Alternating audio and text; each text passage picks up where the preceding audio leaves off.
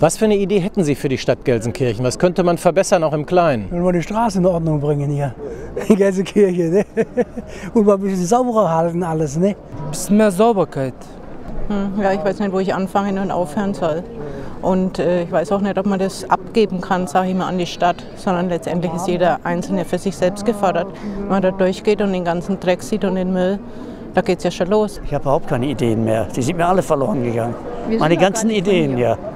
Im Moment läuft es hier ganz gut. Es wird viel gemacht. Also denke ich mal, wir haben es grüner. Alles ist okay. Bis jetzt. Es wird äh, eine Umgestaltung in Schalke. Bürgersteige. Bürgersteige, das wird allgemein, weil äh, viele Betriebe weggegangen sind, Kleinbetriebe weggegangen sind. Und da versuchen wir durch Initiativen irgendwie was Neues hinzubekommen. Aber es ist ja alles nicht so einfach, das weiß man ja heute. Platz brauchen wir auf jeden Fall für die Taxis, ja. Aber so viele Plätze, ob es zur Verfügung steht, weiß ich jetzt nicht, ehrlich gesagt. Das wäre nicht schlecht, nur zum Beispiel, ja. Ich würde die Bismarckstraße würde ich erneuern.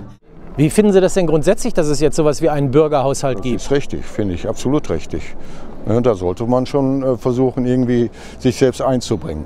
die Leute in der Stadt bekommen ja eigentlich Geld dafür. Die werden ja dafür bezahlt, dass sie sich selber darum kümmern und wissen, was, das, was die Bevölkerung, was die, was die Bürger wollen. Das ist schon nicht verkehrt, ne? Das ist schon richtig so, dass man die Leute fragt und dann den Meinungen äh, holt, sag ich mal. Ist es nicht verkehrt.